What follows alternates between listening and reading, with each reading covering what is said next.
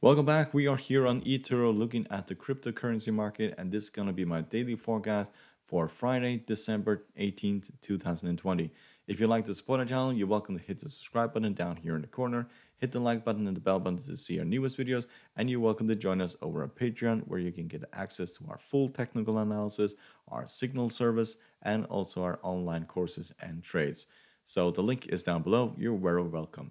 So we'll start by looking at Bitcoin. And the last two days, Bitcoin has gone from 19,279 all the way up towards 23,751. So a fairly ridiculous move, which has had a major pullback at the end of, of Thursday's session. And I think that we will see an even bigger pullback at this point. Um, the reason for that is because we are very overstretched.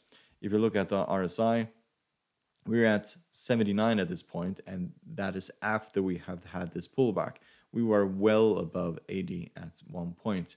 We can see that the uh, CCI is basically becoming very overstretched. The stochastic is turning around, and the MACD usually turns around one or two trading sessions after uh, these two indicators turn around. So pay attention to these two indicators. They are are showing us, or basically trying to um, scream at us that this most likely will head back towards 20,000. And that is where I think we are heading at this point. But if you look at the, for example, the Bollinger Band, which is a very good indicator for to, um, to look at at this point, you can see that we are fairly overstretched. Like this is just a ridiculous move to the upside.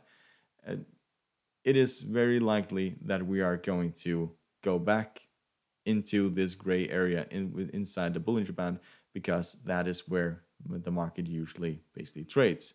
Every single time we break out of the upper part of the Bollinger Band, you have a retraction to uh, downwards. Every time we break the lower part, you have a retraction upwards.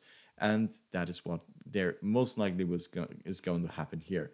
I don't say that it's going to take probably one or two trading days, but it's highly likely that we're going to see a pullback towards 20,000 in the next few days. So this is a very hyped market at this moment. Everybody is talking about it, and therefore a lot of uh, people are basically buying this. But at some point, big institutions are gonna pay, uh, basically pull the plug, and they're just gonna see it. You're just gonna see this fall roughly 10 to 15 percent, and then people will start basically buying it again. So to buy it at this stage is just ludicrous. So pull back towards 20,000. That is basically the buying opportunity um, if you are interested basically at buying at this point. Um, we can also look at the weekly chart. As you can see, we are at 88 in the weekly chart. So back in 2017, um, when we hit 20,000 and basically broke all the way down to 3,000, we hit an RSI of 93. And we were at 93. We were actually 94 at one point today. And we can see that we are starting to pull back. And even in the in the weekly chart, this just looks ridiculous. If you look at the Bollinger Band for the weekly chart, with here, you can see how far we are basically outside of this parameter. Last time we did not even close to this was here, and then we fell roughly, what was it, roughly the 15%, and is probably what's going to happen here. So the previous highs were 20,000, and that is probably going to be the floor on this market. We're going to maybe tomorrow or on uh, definitely and sometime in in next week's sessions we are going to see a major fallback towards 20,000 and then people are going to start buying this again. Because at this point, I think that is going to continue up. I don't think that we're going to see a similar move as we saw in 2017 where we fell all the way down towards the 200 moving average. But you can just see this move here. This just isn't sustainable. We are far outside the Bollinger Band and also back in 2017 when we did exactly the same thing. It just completely collapsed all the way down to 3000. So just keep that in mind. To buy it here is insanity. So this is a very uh, crazy move, but this you're just playing with fire if you think about buying it at this stage. But pullbacks toward 20, that is more reasonable. Then you basically can start buying it again. So let's look at Ethereum. Get rid of this.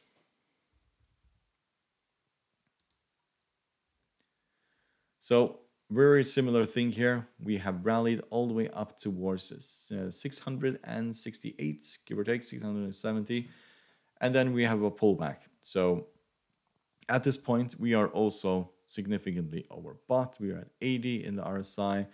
Technical indicators are still fairly bullish, but pullbacks towards the 500 or a pullback toward 500, that is what I do expect for this market. If you look at the, the Bollinger Band for Ethereum, we can also see that we are very overstretched. Last time we did that, we fell, well, the same 10 15%. And that's what we're most likely going to witness at this point.